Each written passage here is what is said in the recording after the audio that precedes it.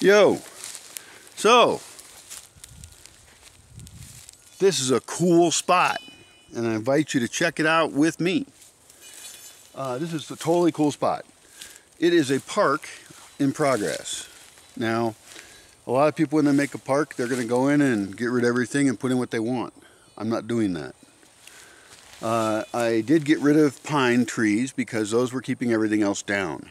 They're an oppressive coniferous plant that are fine in their place, but they tend to rule, and they're not a ruler I feel like having in all spaces. Raw. This is an oak tree. That's an oak tree. That's an oak tree. That's an oak tree. That's an oak tree. We'll get to that tree in a bit. That's really cool. Uh, there's a bunch of acacias over here. Those are doing really well and getting bigger than anywhere else on the entire property before. Uh, there's capulines in here that are coming in because birds pooped out their seeds.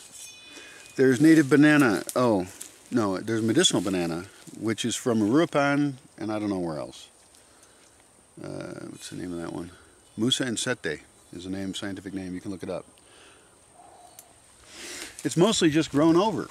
And so what I'm sharing with you right now is a living sculpture that you can see pictures of online and that you can learn from if you want to create your own spaces that are biodiverse and really cool.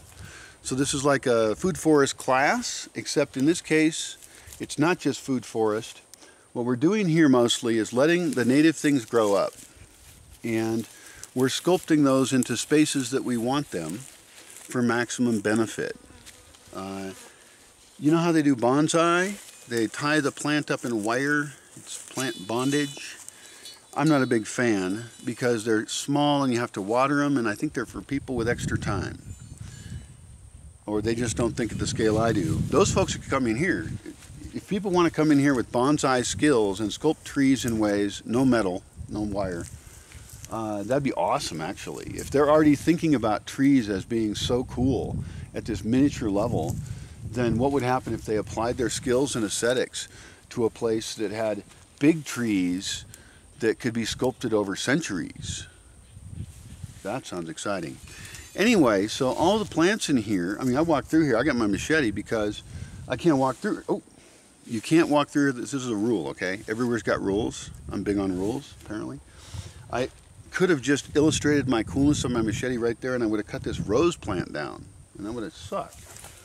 I don't even want people in here with machetes like cutting these branches down because if they cut those, and I understand that meets their momentary need to cut something or to create a space for more feed or I don't know what, but don't hurt any plants in this space. This is a park in progress, this is a biological sculpture in progress, and the most dangerous thing that could ever occur to it is somebody coming here and trying to fuck with it.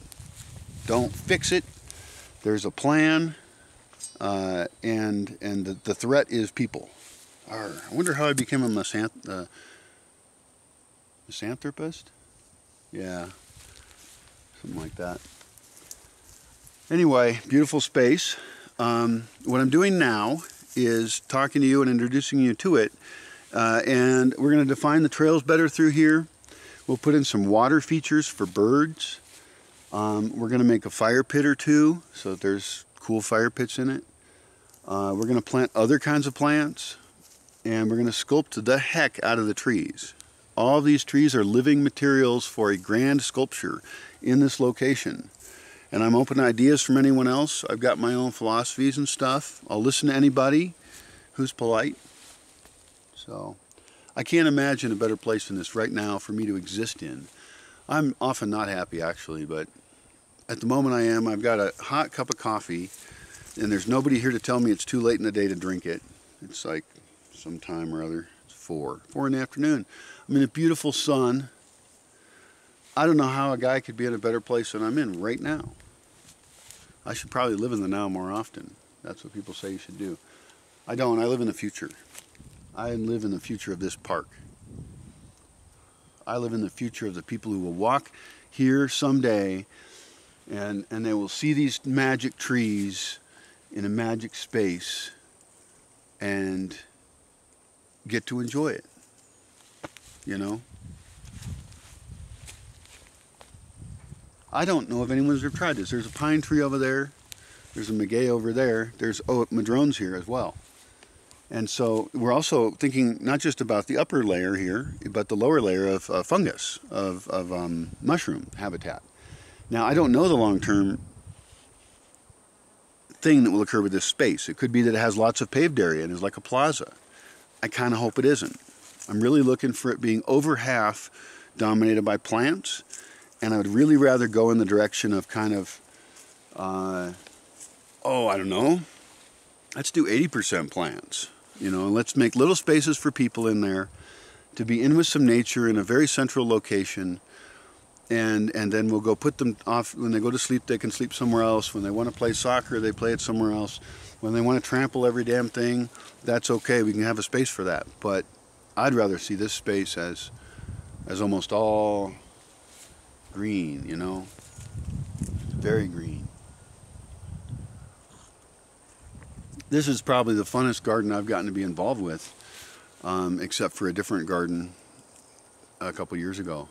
So Well, that's my vision of this space. Hope you enjoy it someday.